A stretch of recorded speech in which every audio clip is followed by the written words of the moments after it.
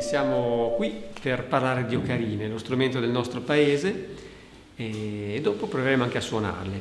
Ma prima di avere l'ocarina come la conosciamo adesso, abbiamo questa cosa qua a forma di animale, questa è un'anatra, immaginate a forma di oca e da questo nome ocarina che vuol dire piccola oca.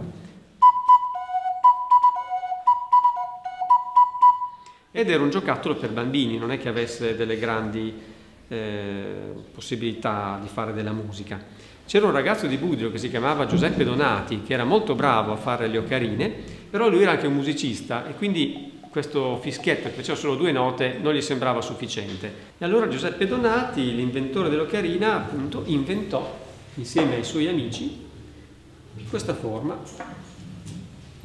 un po' allungata dove ci stanno comodamente tutte e dieci le dita. I due pollici sotto e le altre dita sopra. Sentite, più apro i buchi, più le note diventano acute, è la famosa scala musicale. Allora, qua ho portato un po' di ocarine da tutto il mondo, perché la cosa divertente è che l'ocarina non è rimasta qua ferma a Budrio, che si sarebbe annoiata un sacco. Invece è andata prima in giro per l'Europa, poi in giro per il mondo e adesso è uno strumento molto popolare, soprattutto in paesi lontanissimi come la Cina, il Giappone, la Corea, non so se sapete dove sono, ci vogliono più di 10 ore di aereo per arrivare là, sono circa 10.000 km. Si fa in tempo a vedere tre film mentre si è sull'aereo. Allora, per vedere se soffiate bene, facciamo questo esperimento.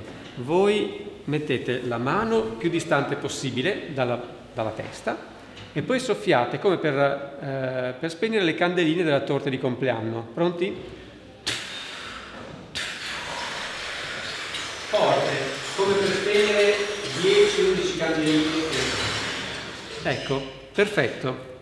A questo punto possiamo prendere in mano l'ocarina, prendo una così, che è simile a quelle che avete voi, che però sono di plastica, sono anche più belle, sono tutte colorate. Come si tengono le dita? Allora, la mano sinistra si tiene di fronte a voi, verso di voi, così. E la mano destra invece all'infuori. Poi avvicinate l'ocarina alle labbra e poi fate quell'esercizio che facevamo prima con, uh, quando abbiamo soffiato sulla torta di compleanno.